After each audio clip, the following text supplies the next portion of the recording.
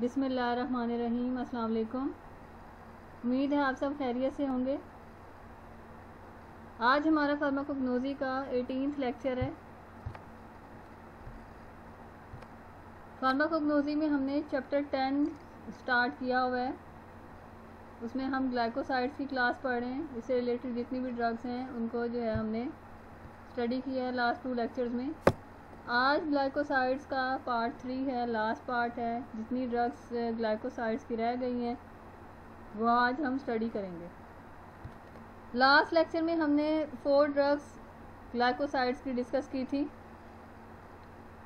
उनमें डिजिटैलिस था senna aloe and cassia four drugs थी, जो हमने डिस्कस की थी। आज हम फर्दर इसको पढ़ते हैं। ड्रग्स को आगे स्टडी करने से पहले हम ग्लाइकोसाइड्स की थोड़ा सा रिवाइज कर लें। ग्लाइकोसाइड वो कंपाउंड होते हैं कि जब उनकी हाइड्रोलाइसिस की जाए हाइड्रोलिसिस की जाए तो स्प्लिट होते हैं टू सब्सटेंसेस में टू केमिकल्स में। एक उनका एक ग्लाइकोन पार्ट होता है, एक ग्लाइकोन पार्ट होता है। ग्लाइकोन को हम शुगर कंपोनेंट करते हैं, कहते हैं, और एक ग्लाइकोन को हम इनॉन शुगर कंपोनेंट कहते हैं। एक ग्लाइकोन पार्ट जो है वो थेरापेटिक एक्टिविटी बॉडी में परफॉर्म करता है। और ये टू मॉलिक्यूल जो है, ये इनकी बॉन्डिंग होती है, ये प्लांट्स में जो है, इनकी बॉन्डिंग होती है और प्लांट्स में जो है ये दोनों कंपोनेंट जो है, ये कंबाइन फॉर्म में पाए जाते हैं। क्लासिफिकेशन हमने पढ़ी थी ग्लाइकोसाइड्स की क्लासिफिकेशन जो है ग्लाइकोसाइड्स की थ्री बेसिस पे उसको डिवाइड किया गया है। On the basis of sugar molecule sugar molecule उसके साथ अटैच हो तो शुगर मॉलिक्यूल्स शुगर मॉलिक्यूल्स के भी डिफरेंट टाइप्स हैं। या फिर उसमें जो है, कौन से कौन से उसमें ग्रुप के साथ अटैच है ऑक्सीजन के साथ अटैच है नाइट्रोजन के साथ कार्बन के साथ, किस एटम के साथ जो है वो अटैच है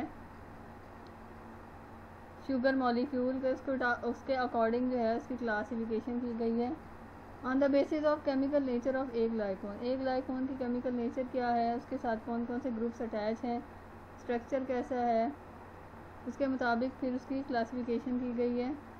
फार्माकोलॉजिकल क्लासिफिकेशन थेरापेटिक क्लासिफिकेशन है। थेरापेटिक एक्टिविटी क्या है बॉडी में? उसके अकॉर्डिंग उसकी क्या क्लासिफिकेशन है? तो ग्लाइकोसाइड्स को थ्री क्लासेस में हमने फर्दर डिवाइड किया है sugar molecule according to chemical nature of aglycone and therapeutic classification ये इसकी क्लासिफिकेशन थी। फर्दर इसकी हमने फ़र्स्ट लेक्चर में ग्लाइकोसाइड्स की डिटेल में सारी क्लासिफिकेशन हमने पढ़ी है। आज रिमेनिंग जो ड्रग्स हैं ग्लाइकोसाइड्स की, वो हम कंप्लीट कर लेंगे आज के लेक्चर में। आज की जो फ़र्स्ट ड्रग है ग्लाइकोसाइड्स की वो है स्क्विल स्क्विल जो है वो स्टीरोल ग्लाइकोसाइड्स है और कार्डियो एक्टिव या कार्डियोटॉनिक ग्लाइकोसाइड्स की क्लास से बिलोंग करती है स्क्विल स्क्विल जो है इसको आम ज़ुबान में आबी प्याज भी कहते हैं. इसके ये जो है कोस्टल एरियाज़ जो होते हैं, समंदर के किनारे एरियाज़ जो हैं, वहाँ पे ग्रो किया जाता है. और इसका जो बल्ब होता है, जैस बल्ब को जो है उसके स्केल्स फ्लैशी स्केल्स जो हैं, जब इसको कट किया जाता है, इसके इसके अंदर जो स्केल्स हैं, उनको यूज़ किया जाता है ड्रग के तौर पे। जैसे प्याज होता है अनियन है, उसके बल्ब वो बल्ब की फॉर्म में है। इसी तरह ये स्क्विल जो है, ये भी बल्ब की फॉर्म में होता है। और इसका जो बल्ब है, उसको यूज़ किया जाता है मेडिसिन में। स्क्विल जो है वो कार्डियोटॉनिक ग्लाइकोसाइड है और इसमें dozen of glycosides cardioactive glycoside जो है मौजूद होते हैं। कार्डिक एक्टिविटी को बेहतर करता है। हार्ट की जो डिज़ीज़ हैं उसमें स्क्विल को यूज़ किया जाता है। स्क्विल की डिटेल की तरफ़ जाते हैं। Biological source part use dried fleshy scales of bulb of Urginea maritima है, जिसको वाइट स्क्विल भी कहा जाता है। Urginea indica Indian squill dried fleshy scales जो हैं, इसके स्केल्स जो इसके अंदर पाए जाते हैं, इसको जब कट किया जाता है तो स्केल्स जो हैं वो होते हैं इसमें। उसको ड्राई करके इसको यूज़ किया जाता है। टू वैरायटीज़ हैं, दो अकसाम हैं इसकी पाई जाती हैं। अर्जीनिया मैरिटीमा है और अर्जीनिया इंडिका है। एक को वाइट स्कोइल कहते हैं, एक इंडियन स्कोइल कहते हैं। और ये डिपेंड करता है कौन से एरिया में जोग्राफिकल एरिया में जो है, इसको ग्रो किया जा रहा है। उसके मुताबिक ही उसकी डिफरेंट वैरायटीज़ होती हैं। फैमिली है लिलियसी लिलियसी फैमिली से ये बिलोंग करते हैं। Geographical source France Spain and Italy Italy Spain France इनकी कोस्टल एरियाज़ में जो है इसको ज़्यादातर ग्रो किया जाता है कमर्शली केमिकल कॉन्स्टिट्यूंट्स कौन कौन से इसमें पाए जाते हैं? सिलेरिन ए है सिलेरिन ग्लूकोसिलेरिन है प्रोसिलेरिन है स्लेरिडिन है। ये केमिकल कांस्टेंट है, इसमें सिलेरिन ए जो है, वो मेन केमिकल कांस्टेंट है कार्डियो एक्टिविटी जो परफॉर्म करता है कार्डियोटॉनिक है। यूजेस क्या हैं? क्योंकि ये डिजिटैलिस के साथ कार्डियो एक्टिव है। जैसे डिजिटैलिस की डिफरेंट एक्टिविटीज़ थी, वो परफॉर्म करता है डिफरेंट ट्रीटमेंट्स में यूज़ किया जाता है उसको डिजिटैलिस को। इसी तरह स्किल को भी स्किल भी कार्डियोटॉनिक है। कार्डियोटॉनिक्स क्या होते हैं? वो ड्रग्स होती हैं जो हार्ट के मसल्स की जो कंट्रैक्शन है, उसको इम्प्रूव करती हैं। ब्लड फ्लो को इम्प्रूव करती हैं। क्योंकि कार्डिक जो डिज़ीज़ होती हैं, उसमें ब्लड फ्लो नहीं हो रहा होता या कार्डिक फ़ंक्शंस ठीक तरह से परफॉर्म नहीं हो रहे होते। तो स्क्विल जो है, वो एज ए कार्डियोटॉनिक के तौर पे यूज़ हो रहा है। हार्ट के फ़ंक्शंस को भी इम्प्रूव करता है और ब्लड फ्लो को भी इम्प्रूव करता है ये। हेयर टॉनिक हेयर टॉनिक के तौर पे भी इसको यूज़ किया जा रहा है। हेयर की ग्रोथ के लिए। एंटी इमेटिक एंटी इमेटिक के तौर पे भी इसको यूज़ किया जाता है। इमेटिक का मतलब होता है वॉमिटिंग वॉमिटिंग आ जाना। Anti emetic means nausea vomiting nausea और वॉमिटिंग को रोकना।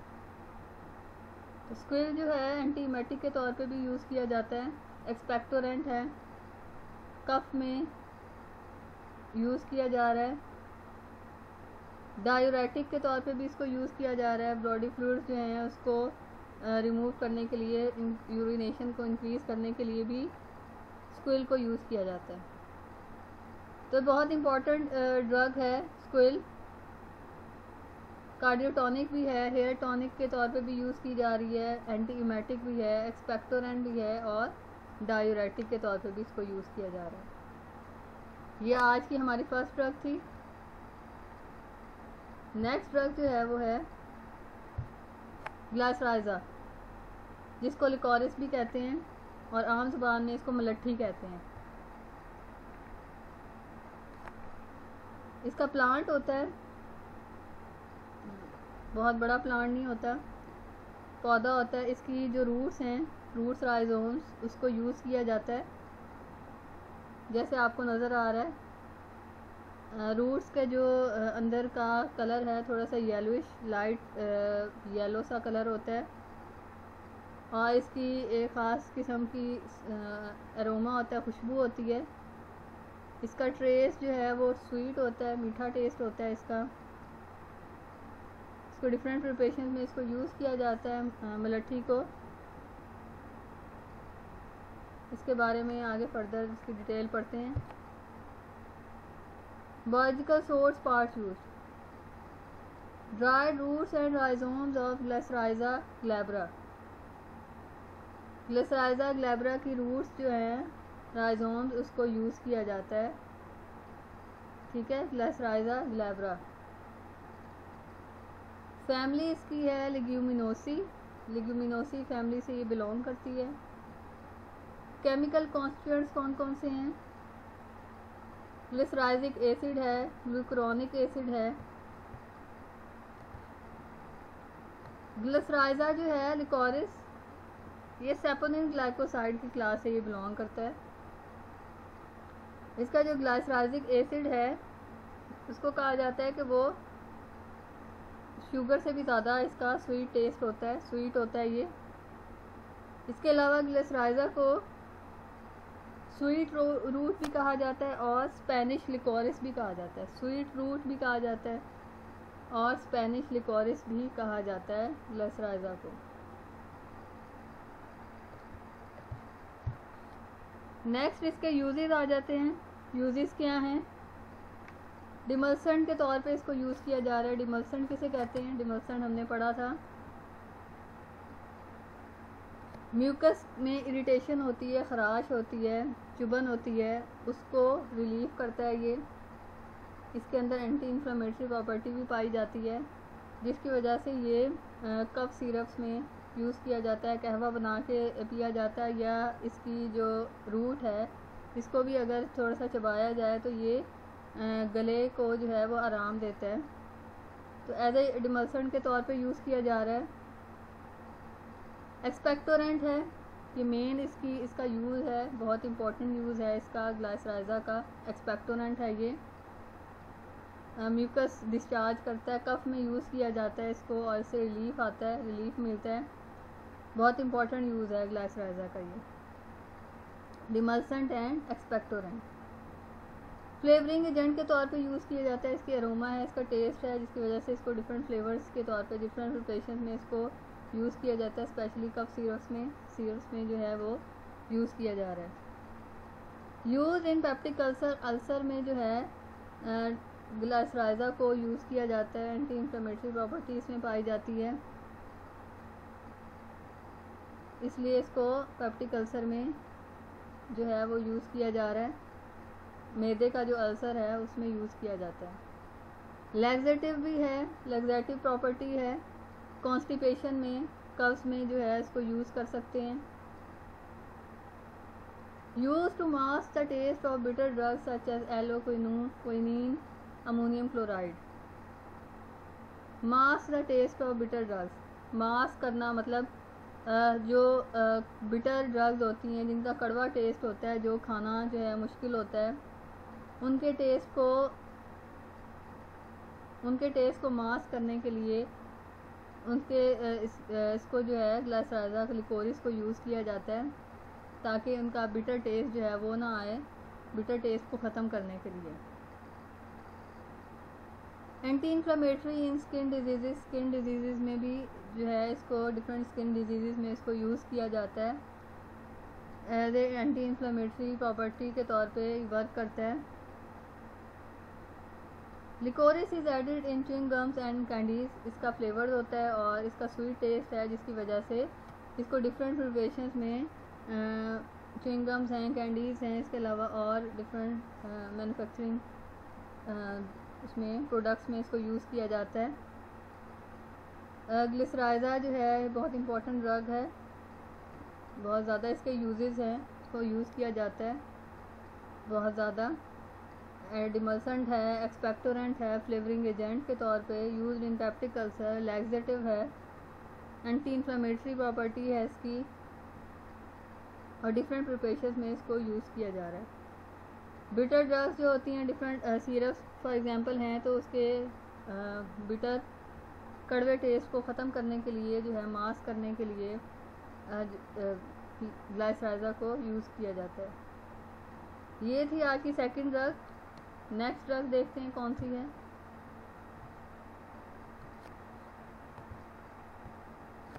नेक्स्ट ड्रग हमारी है मस्टर्ड मस्टर्ड से आप लोग बखूबी वाकिफ़ होंगे। मस्टर्ड जो ड्रग है, जिसको सरसों कहा जाता है, इसके प्लांट को सरसों कहा जाता है और इसके सरसों के बीज होते हैं। इनकी टू वैरायटीज़ होती हैं टू से ज़्यादा भी हो सकती हैं, लेकिन हम, हमने जो है वो टू वैरायटीज़ की पढ़ी हैं। एक होता है ब्लैक मस्टर्ड और एक होता है येलो मस्टर्ड येलो और ब्राउन मस्टर्ड रेड मस्टर्ड भी होता है। तो इसकी डिफरेंट वैरायटीज़ हैं, मुख्तलिफ़ अकसाम हैं मस्टर्ड की। सरसों का पौधा होता है ये और इसके जो सीड्स हैं मस्टर्ड सीड्स सीड्स को यूज़ किया जाता है। जैसे आपको नज़र आ रहा है ब्लैक मस्टर्ड है, सरसों के बीज हैं ब्लैक कलर के और ब्राउन येलो जो हैं वो इसके सीड्स हैं। तो ये टू वैरायटीज़ जो हैं, इनसे मस्टर्ड जो है इसको यूज़ किया जाता है।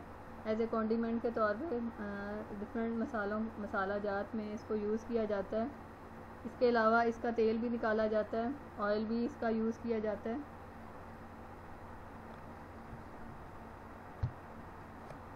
Mustard biological source part use dried ripe seeds of इसकी जो है राइप सीड्स जो हैं उसको यूज़ किया जाता है। इसकी टू वैरायटीज़ हैं। ब्रेसिका नाइग्रा है, जिसको ब्लैक मस्टर्ड भी कहते हैं, और ब्रेसिका जोनसिया है, जिसको ब्राउन मस्टर्ड भी कहा जाता है। ठीक है, इसकी टू वैरायटीज़ हैं। जिसको यूज़ ज़्यादातर यूज़ किया जाता है, ब्रेसिका नाइग्रा है। और ब्रेसिका जोनसिया है? ये टू वैरायटीज़ हैं इसकी। फैमिली इसकी है क्रूसीफेरी क्रूसीफेरी फैमिली से ये बिलोंग करती है मस्टर्ड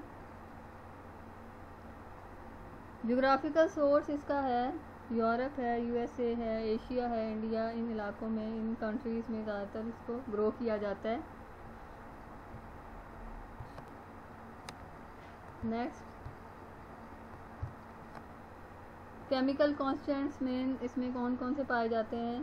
सिनेग्रिन है फिक्स ऑयल है प्रोटीन है। यूजेस इसके क्या हैं? As counter irritant counter irritant के तौर पे यूज़ किया जा रहा है।